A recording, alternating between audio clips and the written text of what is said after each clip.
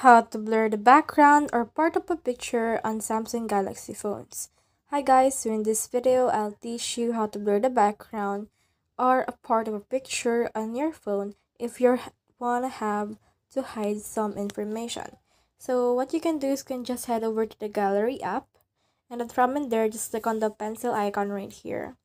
And then from in there, you can just head over and click on mosaic right here you can see here the pixel smudge dots and blur. So click on blur right here and you can increase the opacity or the stroke of your pencil. So just choose the part that you want to blur. So for example you want to blur this one right here. Let's try to glide over it.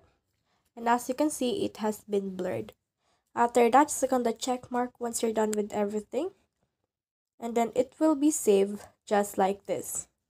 So that's the whole process I hope this video helped you to blur the background or part of a picture on Samsung Galaxy phones. If you have questions or comments, comment them down below and I'll try my best to answer them. Thanks!